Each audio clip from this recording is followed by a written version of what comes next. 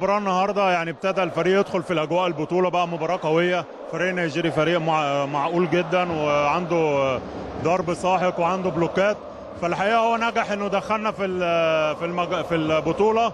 آه، الفريق مستواه بيتطور من مباراة لأخرى. إن شاء الله الدور الجاي خلاص آه، مفيش أي تهريج خروج المغلوب فالفريق خلاص مركز إن الماتشات الجاية هي المهمة وخروج المغلوب وهيبقى إن شاء الله بإذن الله هيبقى في شغل تحضير للمباريات الجاية. نشوف بس مين هيبقى الفريق اللي هيلعب معانا الدور الجاي سواء الشمس آه، فريق السجون.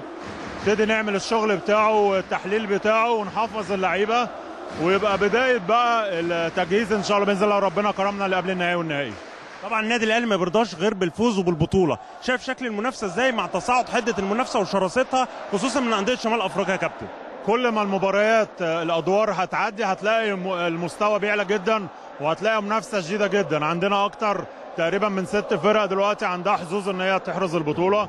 عندنا فريق التونسي كويس جدا فريق الجزائر فرقتين كينيا وف- وفريق الأهلي وبالإضافة للفرق المصرية الأخرى. لا مستوى البطولة عالي. وإن شاء الله هنشوف مباريات قوية في الدور الجاي. جماهير النادي الأهلي مساندة مؤازرة دعم زي ما إحنا سامعين. رسالة توجهها ليهم. آه، جمهور الأهلي ده قصة تانية خالص. أول ما بيجي جمهور الأهلي في الصالة بنبقى متوقعين إن شاء الله بإذن الله ربنا هيكرمنا لأن الدعم الجماهيري مهم جدا لينا وخاصة جمهور الأهلي ما بيهداش طول المباراة.